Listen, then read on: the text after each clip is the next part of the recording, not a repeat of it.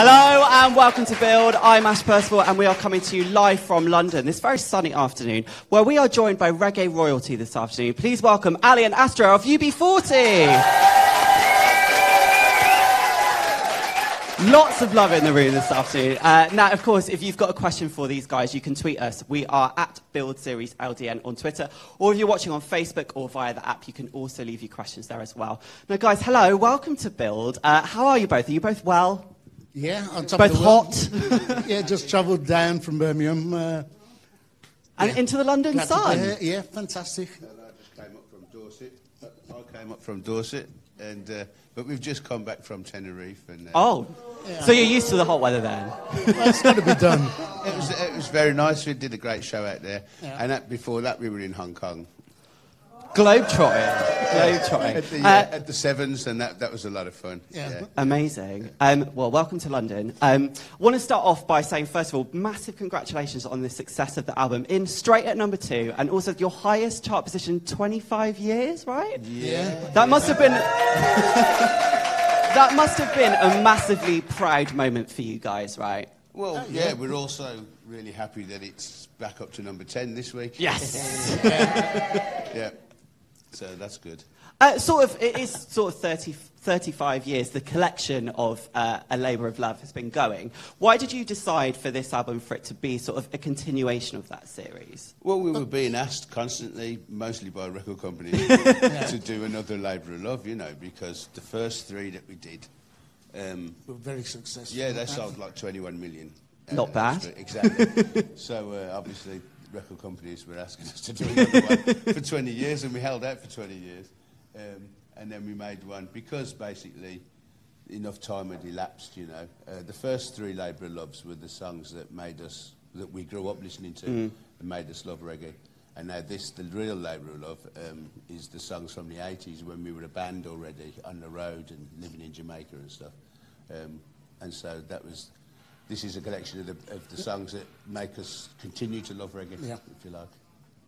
Um, also, uh, when you were sort of set to work on it, did you anticipate the kind of the success that you would go on to have this year? Uh, well, no, you, you never can anticipate these things. It's always you always find out how good a record is after the fact, and that's because the public, you know, they choose whether it's a hit or not, not you. Yeah. Well, it's, it's Labour of Love, so it's a collection of songs that have already been hits, basically. So you know, it's not it's not much of a gamble. Yeah. You know, uh, it's just that we take them out of the reggae world and try and make them a bit more popular. You know, um, you know, try and cross over a bit with them, and that was what we did with the first three. So we thought it's, it's happened with this one as well, and it is. Not only has it been a massive hit with these guys, it's also been a massive hit with the critics as well. Do you like to pay much attention to stuff like that, or do you try not to sort of read the reviews and stuff? Um, don't really pay much attention to. it. Well, we're too busy to even pay much attention. We're on, on the road constantly. But um, like, you know, whenever we go into the studio, we endeavour to do the best that we can possibly do, and hopefully things will take care of itself. As far as the uh, as, as far as the press goes, I mean, like, you can't control the press, and you can't control whether or not somebody likes your song or not. But you know, Critics are a weird job, isn't yeah, it? you know, I to- mean, they can make or break somebody's to career. criticise things. a job is a bit of a dodgy one. Yeah, isn't no, it? my argument is if you don't like something, don't write about it. You know, there's somebody, you know, who's more worthy of, um, you know, a little paragraph of encouragement rather than a, a double page spread of being told, you know, time for a career change.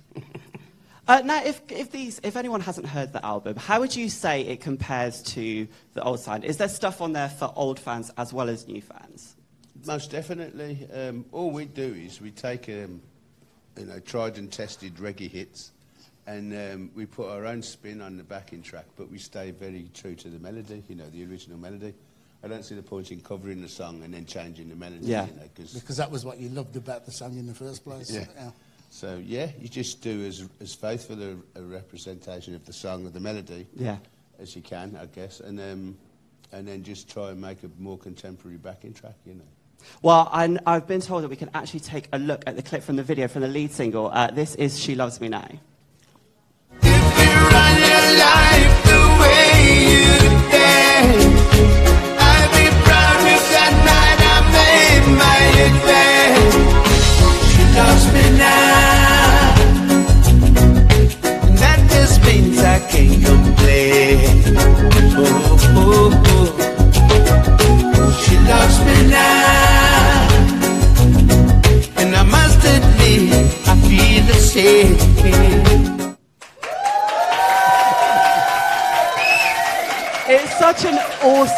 Video. How did you guys come up with the concept for that? We didn't. We didn't. that was a young artist. Uh, I think he's from New York, isn't he? Yeah. And uh, he just submitted that, you know, and we went, well, that's funny. Lots of work must have gone into that, right? Yeah, Yeah, yeah. hours. well, anything animated uh, takes a long while.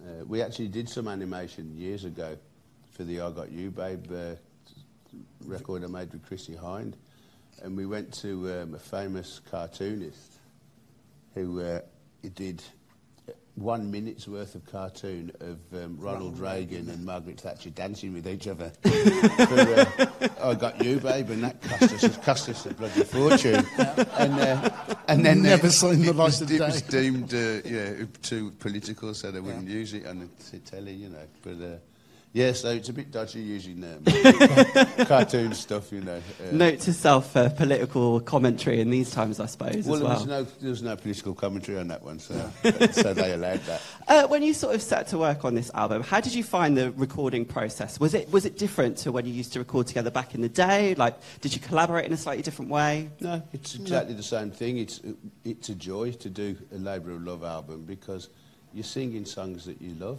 you Yeah. know, already, so you haven't got to write anything. It's you've just got to faithfully in- reinterpret a song that you've loved for years. You know. And I guess you get to fall back into like old sort of habits with each other as well, which I Well, guess the thing be is, I mean, like, all the songs we were singing on the tour bus, so you know, and, and so it's just a, it's just a case of just continuing the same thing, you know. Yeah, I mean, I've heard Astro sing "Here I Come" for twenty odd years, you know, on the tour bus, yeah, and Barrington Levy stuff.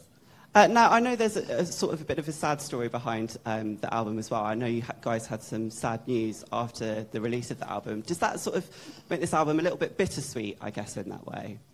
Well, you know, we, de- we dedicated this album to Johnny Johnson, who was the trombone player with us and a great friend, and he was he'd been with us for seven years, you know, on the road. So we, you know, we we loved him, and he was a, he's a bro, you know. And uh, ironically, he was the fittest one out of all of us, you know. Uh, while we were all in the pub, he was in the gym, Yeah. you know. Uh, and he was super fit. His, you know, body was his temple and all that. And, Yeah. uh, and he was taken from us in uh, almost in a heartbeat, you know. Um, we were going to do a benefit to raise funds for his treatment, but he died before we could do Oh it. know. gosh, so sad. What a lovely tribute to him to have this album sort Yeah. of in his memory. Um, now, I know you've also been working with the, the Teenage Cancer Trust during this campaign as well. What's that partnership been like? Well, that was the reason why we did that because we, we didn't get to do the benefit for John. Um, we thought we'd do um, Roger Daltrey's Teenage Cancer Trust. He'd been asking us to do a, a reggae night for a while, for a couple of years, um, and we thought that was a good time to do it, and it was a great night. The Very Albert great. Hall, right? yeah, yeah, yeah. fantastic. An amazing venue to play. It's really nerve wracking because there's nowhere for you to hide when you're on stage. Usually, we- the place where you can take a breather, uh, you know, and wipe your, wipe your brow. But no, the, the crowd's right on top of you. But it's a fantastic place to play. And, It's like and playing in a wedding cake. I guess it must be a bit of a pinch yourself moment when you stood on that stage in that iconic building. Oh, it is incredible. It's a great feeling. Uh, we need to talk about the, the big anniversary because that's, that's soon coming round, right? And I understand that you're going to be celebrating in style, right? Uh, can you tell us what, what, your, what your plans are? No, Well, we haven't made There's any a lot yet. of confusion as well because the dark side, which is the other part of UB40 that, that knocks about, you know, you've heard about, they're, they're sort of celebrating the 40th anniversary um, In a this few year, months. which is completely wrong because Yeah, we're celebrating it in 2020 when because we've been a recording band since 1980, you know. So uh, 40 years. Yeah, we, we, we were 10 when we started. Uh, but you're off, on, you're off on the road next year, right? Aren't you? yeah, yeah, we'll Yeah. be doing a big arena tour. Where are you, where are you visiting? Where are you stopping off? Where can people catch you? Oh, we're doing the O2, um, London. We'll be doing um, the Birmingham Arena. Um, It's all the, all the arenas, yeah, you know. We- basically. We, did them Cardiff a couple of years ago. So, yeah, we'll be in um, at the one. We'll in be at a town near you. Put it Yeah. that way. Town near you. Uh, what can people expect from the show? Have you, got, have you st- started to talk about the kind of things you want to be in the Well, show, set well- list, things like that? Well, well, we haven't started, but um, it's going to be pro- predominantly the greatest hits um, tour, and with a smattering of, of new material. Because after all, we are, we are um, after all, promoting a real labour of love. So I think the fans would love to hear quite a few tracks. Something for from the album. everyone. Yeah, Yeah, most well, definitely. we're, we're on the road. Normally, we do. I mean, we've sort of honed down a set, you know, over the last five years that we think is brilliant, and you, mm. and it's sort of it's really difficult to, to take, any out or add anything. Yeah. But we will be adding about half a dozen of the tracks from a real labour of love. Uh, Because they're calling it a real labour of love tour. um, so, You kind yeah. of have to, don't you? But, it's, but, but you know, we, we will be giving people a- an, enough time to get to know the tracks. You know, we Yeah. would never um, go on tour and, and play new tracks that people hadn't heard. You know, we're not self-indulgent like that. Have you got like a favourite song to play live? Have you got one that sort of maybe differs from what the audience most enjoy hearing? well, like I said, all the ones that we've we've honed it down so that we're doing a you know a set of I think our best stuff. You know. So it's, it is really difficult to sort of swap it about once you've got it. you know. That's it. But then, you know, yeah, you don't want to be doing the same set all the time. So uh, we're, we're changing it up quite radically for this next tour. yeah. How do you find life on the road? Because some bands love it, other bands can't bear it. Are you sort of okay with life on the road? Do you like sort of roadie life? I love it. I love it. Uh, we're not roadies. It's no. like we're, you know, we're one of the few bands life. who've spent our entire lives out on the road. Yeah. You know, we haven't, you know, didn't start and then disappear into the ether for, you know, 30 years and then come out and start celebrating your 25th birthday. You know. We truly have um, worked for, you know, our entire careers. Yeah. Yeah, and I love I love being out on the road. You know, it means that you're meeting new people, getting people to hear your, your stuff. So And you get to meet the fans as well. Lots of them are here this well, afternoon that- too. well, at the end of the day, that's what it's ultimately all about, isn't it? You know, we are making music for our fans Yeah. as well as ourselves. You know, so I had a hiatus of about eight years, you know, where um, after I left my own band, um, it's nearly. uh, so for about eight years, I was doing shows and I was going to South America and I was in New Zealand and a bunch of other things. Uh, but I didn't tour for eight years, you know, and I really missed it. And um, so for the last five years, I've been on the road, you know, in the tour bus and going all Relishing over, it again, I all suppose. over America and all over the world, really. New Yeah, Yeah. Well, it's, it is our way of life, you Yeah. know. And, Uh, uh, everyone's got their favourite tour story. Have you got? Have you got one? Yeah, but they're, they're too not fit for risque. the- I was going to say, is it daytime appropriate? Yeah. not, not at all, no. I mean, y- there's a million stories, you know. We've literally been on the road since we were 19 years old, you know. That's what we did. We took our social circle and just took it around the world, you know. And we're still doing that, you know. Are you more tucked up in bed by 11 last, uh, now when you come off stage? Is it sort of like, lads, I'm off to bed now, see you in the morning? yeah, Well, kind of, yeah, because, you know, we do have to protect our, you know, um, organs. And, so, uh, yeah, I do a runner after the show just to, so that I don't, you know, end up partying again because, um, you know, I'm, I've got an addictive personality. yeah. Plus, you end up staying up all night drinking, and all you're It's doing is just stripping your throat. Yeah. So you know, it's not very good for the the following show, is it? Yeah. So, sort of 40 years after you first sort of began recording together, what made you kind of like want to sort of regroup and, and do the stuff aside from the, the, other, the other band, should we say? Well, I mean, I left because of management um, problems, and the management has since been, um, you know, struck off, and they're, they're not allowed to be managers anymore. So I'm vindicated on that one. Um,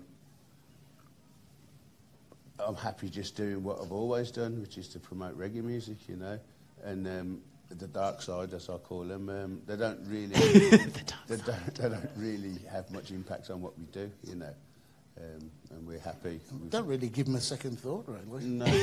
well, we've got the hottest reggae band in the in the world, I think, at the moment. Reggae seems to be one of those sort of uh, genres that's kind of really sort of transcended through the kind of different trends that we've had, sort of through the 80s, through the 90s. It's all still been present. Why do you think it is still so popular? Well, Reggae. Yeah, Yeah. because it was the youngest form of uh, you know, genre of music when we um, started. Well, that's when people say, "What's our secret and why we're still here?" Yeah. It's just because we chose reggae as our musical genre. You know, when we when we chose to be a reggae band, reggae was only 11 years old. It only came about in 1968. Before that, it was called rocksteady, and before that, it was called Ska. ska. Yeah, so we were f- too young for all that. Um, So yeah, it hasn't outlived its own cool. You know, like a lot of music, like jazz maybe, or you know, folk music and stuff. You know, it had its day and sort of outlived it. You know, Yeah. whereas uh, reggae's still pretty relevant if you look at what's happening in the charts all over the, the world. You know, coming out of America with um, Pharrell Williams and Katy Yeah. Perry. You know, Yeah. Justin Bieber's using reggae beats. you know, Rihanna, Ariana Grande. You know, Beyonce. They're all they're all using reggae beats Yeah. And bogle beats, you know. And we travel around the world and we listen to all the local music, and it's all informed by Sly Dunbar beats and bogle beats and reggae, you know. So when people go, "Oh, reggae's had its day," it hasn't. It It's hasn't at it's, all, It's, yeah. it's more influential now than it's ever been. Yeah. You know? Um, we've had a social question in. Uh, this one is from Stephen on Facebook. Uh, hi, Stephen. Thanks for your question. Uh, he wants to know Do you actually enjoy red wine? I guess you get this question Actually, a lot. yeah, we but, do. We've got a lovely red wine out at the moment. Uh, Well, yeah, this is what I was going to ask you because you've released your own red, red wine, Yeah. right? Yeah, we did 30 years research first. and, uh, and then we've got this Bordeaux Superior, which is a cuvee. Um, it's a Merlot and Cabernet. Oh, lovely. Yes, and it's, and it's French. Um, and it's a, to, to sort of answer back at the, the, new, the new world wines, you know. Everybody's gone off French wine a bit, you know, even though it's, you know, that's where it all started. I guess the process of making your own wine must be pretty fun as well, right? A lot of brilliant. tasting Well, and a lot of. Uh, Yeah, it's very absolutely. testing on your liver. Who took it the most seriously? Who sort of got really stuck Oh, in? we were very serious about it because we knew it had to be good, you know, um, because of because of the you know the track, and uh, we'd done the Red Red Wineries tour, you know, uh, out in New Zealand Yeah. and Australia and all that. So we yeah we had to come up with a good Yeah, wine. you only get one shot at it. And if we want to get a bottle, where can we get it from? Eminentlife.com. There we go. Yeah, ub40.org.uk. Yeah, you can get it there. Oh, well, guys, we are sadly out of time. That's gone. That's flown by. I Joking. know. Um, but don't forget, if you want to find out more details about uh, their tour, you can find all of that on ub40.org. Uh, we'll also be back here at half three when John Newman will be popping by in the studio, so make sure you don't miss that. Uh, but in the meantime, please give up for Ali and Astro of UB40, everyone.